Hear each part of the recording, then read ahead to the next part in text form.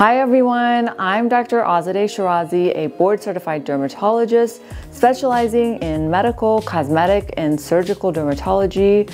I'm also the founder of AziMD Skincare. Welcome back to my channel.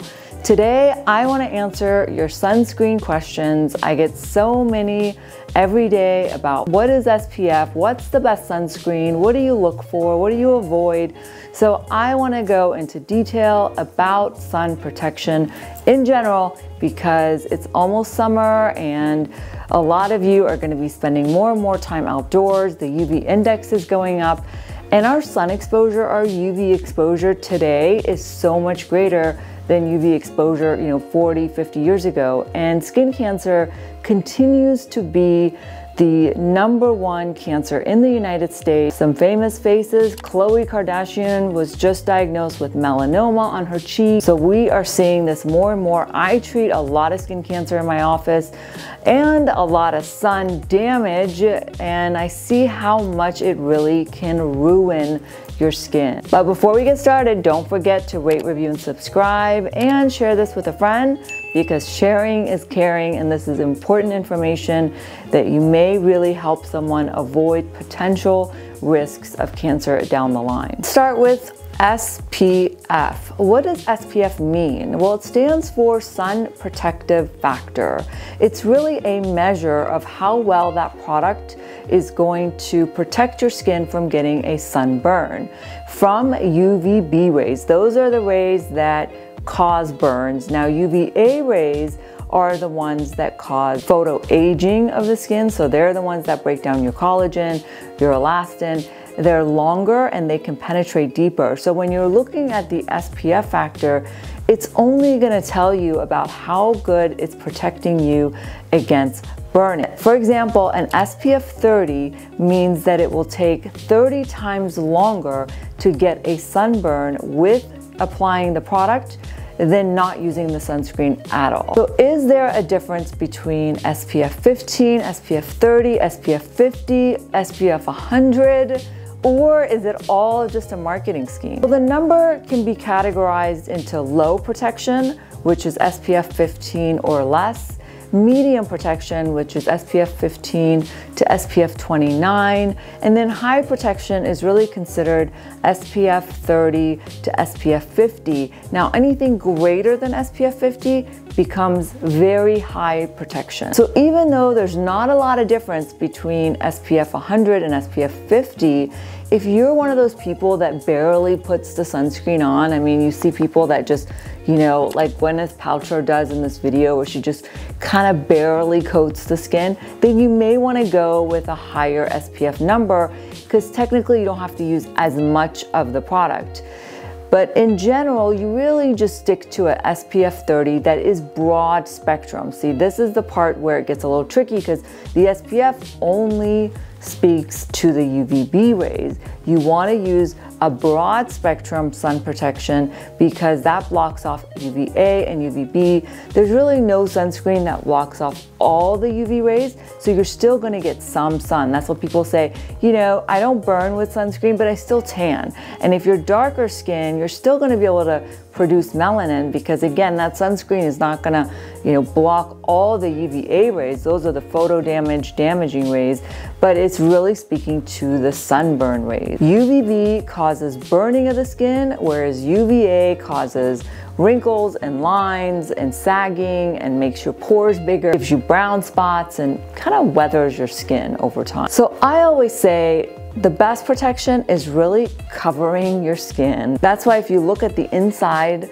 of the arm on people, that's where they have the best skin. They don't have brown spots, they don't have wrinkles. Really, that is protected skin because it's completely shielded. In general, the upper parts of our body, so the top of our scalp, top of our ears, our lips, these are areas that get unshielded direct sun exposure.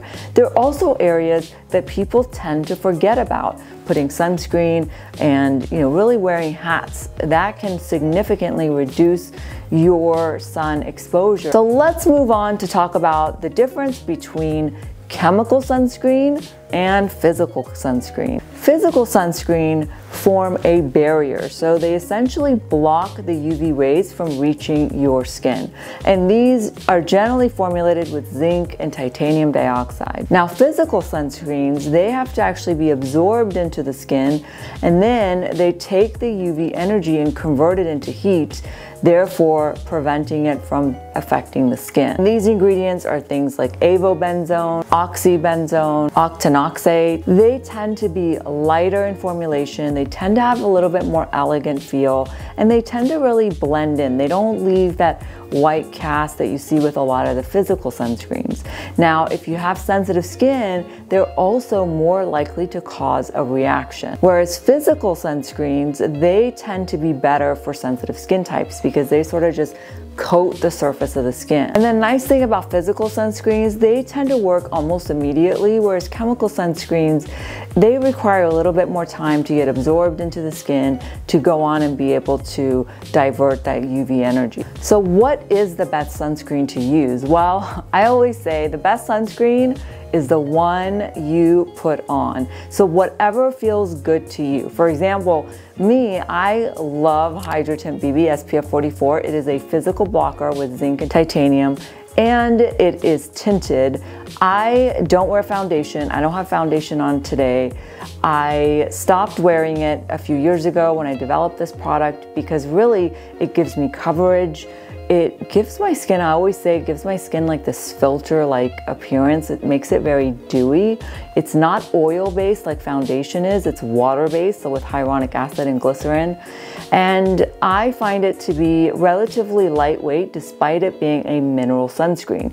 I also have sensitive skin. I'm also prone to discoloration. So a physical SPF moisturizer that is tinted because tinted SPF protects better against hyperpigmentation and discoloration. So that is the right sunscreen for me.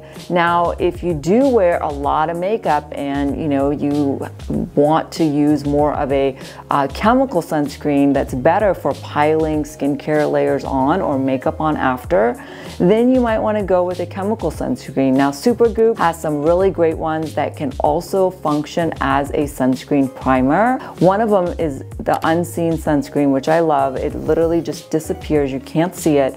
It is formulated with a lot of silicone, which is what gives it that nice texture. But if you're acne prone or have sensitive skin, that might not necessarily be the right sunscreen for you. So I always suggest if you have sensitive skin, go for the zinc, go for the titanium. Whereas if you know you don't have sensitive skin, then you go for some of the chemical ones. Those are going to be at a little higher risk for causing reactions, but they do tend to be a little bit more lightweight. There's also body sprays. I don't really favor sprays for the face just because you can inhale them. I prefer more of a powder to cut down on shine and oil and give you a little bit of coverage, but a lot of people do love the sprays. And if you are gonna use the sprays, I find that you have to put more of the sprays on than you would normal like lotions or creams. So go for a higher number, go for like an SPF 50 or higher so that you make sure you get adequate protection. But I do love them for the back, hard to reach areas. My current favorite is this UV Defense because it is reef safe, it is chemical free, it is mineral, and I honestly feel like once it gets on your skin, it's like it's stuck on there. And it protects you for you know a long time whether you're in the water it, it is water resistant. It also has things like aloe and antioxidants. So a lot of sunscreens now come with the benefit of skincare such as being formulated with vitamin E like the UV defense and look for ones that are reef safe because if you are going to places like Hawaii or you know some of these areas where conservation and you know our oceans are a huge factor they really want you to use reef safe sunscreen. So that is a term to look for in a lot of the body ones. But I always say the best protection, especially if you're gonna be out on the water all day, wear a sun shirt. Look for UPF clothing that is UPF 30 or 50 and you know UPF hats. Because that way you know you don't miss a spot because sometimes you know I'll miss a spot and then get burned there. That's really your best bet particularly if you're going to be snorkeling or it's going to be harder to reapply sunscreen. Now some people really love the sticks. I know that my kids really like them because they're such easy ways to reapply sunscreen. Whatever form works well for you. SPF in the US is regulated by the FDA and in general, sunscreens are safe. Just don't eat the tube. I hear people on social media talk about how sunscreen is harmful and causes cancers and da da da. You know, honestly, they're safe as long as you're not bathing in it five times a day or eating the tube. If you use it the way it's indicated for use, they are safe. Now, how often should you reapply sunscreen? In general, it tends to wear off after two to three hours. So if you're out there at the beach all day, make sure you take breaks. You can set you know, your watch timer or your phone timer to remind you to reapply that sunscreen because it is important. That's how people burn is they forget to reapply. A lot of people ask me, well, what sunscreen can I use that doesn't get in my eye? I find the sticks to be really helpful for that. Uh, also, like Neutrogena has one called Hydro Boost that's an SPF 30. Uh, that tends to stick on pretty well. The Physical sunscreens tend to be a little bit better. The higher the number, sometimes those can get in the eyes. La Roche-Posay has some really great ones that are drugstore brand. They have ones with Mexoryl or Cell-Ox Shield that tend to be really great at broad protection. What are the areas that people tend to forget to apply the sunscreen. We talked about how the upper body get that, gets that unshielded sun exposure. So your scalp, your part in your scalp you know, that area is prone to sunburns. If you don't use it, you can use the powder. Like I love using this UV clear SPF powder that's SPF 50. You can put that in there.